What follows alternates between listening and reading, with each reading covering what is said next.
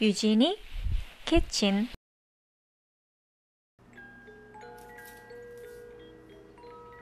Hi, I'm Eugenie. Today I make no-bake peanut butter chocolate bars.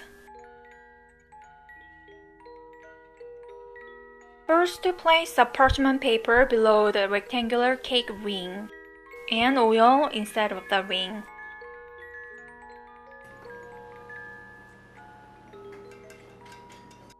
Then, in a saucepan, add in 1 stick of unsalted butter, 2 thirds cup of confectioner sugar, and 1 third cup of creamy peanut butter. Over a low heat, stir until the butter is melted and the mixture is well combined.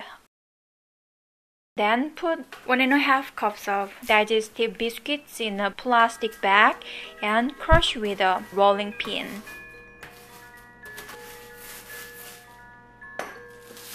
And then add in the saucepan and stir until mixed.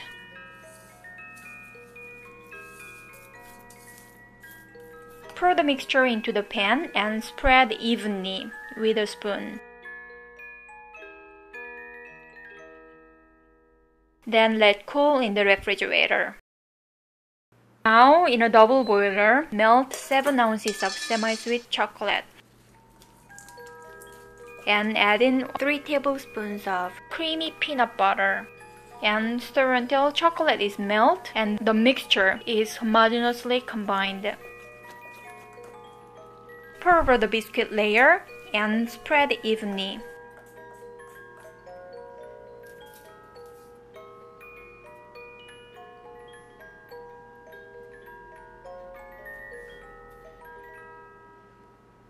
Now completely cool in the refrigerator for at least 2 hours or until set.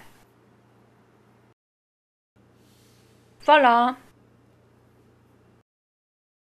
This is my favorite no-bake recipe so far, which was already said on my blog a long time ago. It's just out of fridge so it's still cold and there are water droplets. Bon appetit!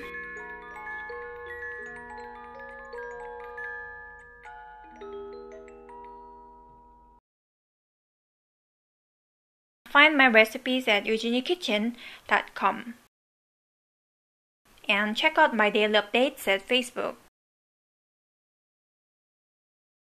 and Instagram. Thank you for watching. Bye for now.